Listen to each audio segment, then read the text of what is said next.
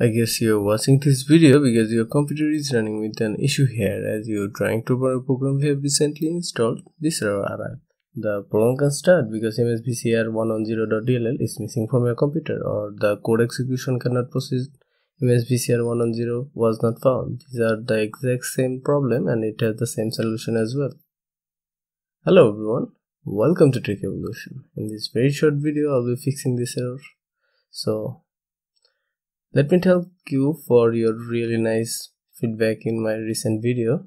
So consider subscribing to this channel if the video helped you. So enough with the intro, let's get started. The first step is to download the DLL file. In order to download the DLL file, you need to open your favorite browser and Go to Google and search for msvcr110.dll. You can choose any result you want.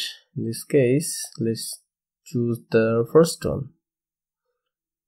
This video is not sponsored, but I'll put the link in the description for your help.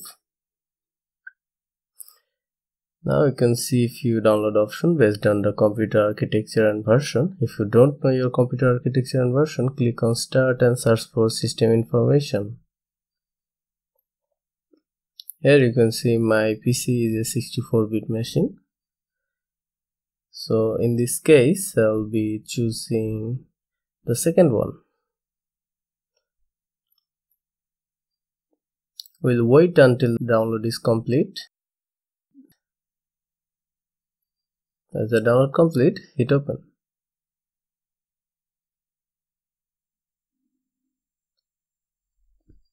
The downloaded zip has the DLL file in it. We'll place that later. In order to move the DLL, first open this PC. Then open your system drive. For me, this is the local C. Then Windows and find a folder named system32. There it is. Now click on the downloaded DLL drag the DLL and drop. I have already done this so it is asking me to replace. And click on continue it asks for administrator access.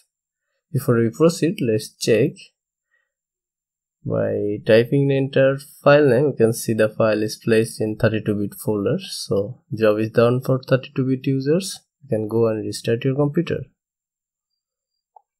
This is the summary of 32-bit process. This is only applicable if you are a 64-bit users. You need to first open this pc one more time. Then local c windows and find a folder name syswow64 this is the home of 64-bit DLL so drag the DLL and drop as I say I have already done this. Check this one more time. Yeah it is perfectly placed in 64-bit folder so they can't say that we don't have the DLL in the folder right and finally, restart your computer. This is the summary of 64-bit you need to place in both system32 and syswow folder. Every computer is different, so in case the problem still occurs, go to Google and search for Visual C++ redistributable. Let's open it.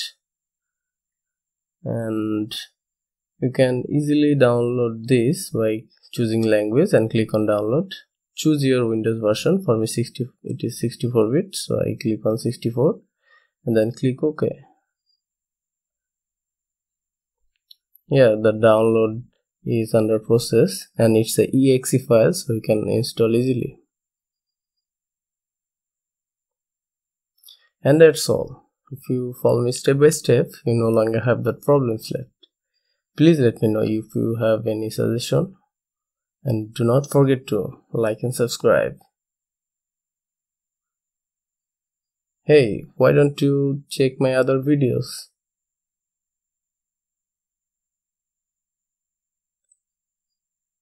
thank you for watching bye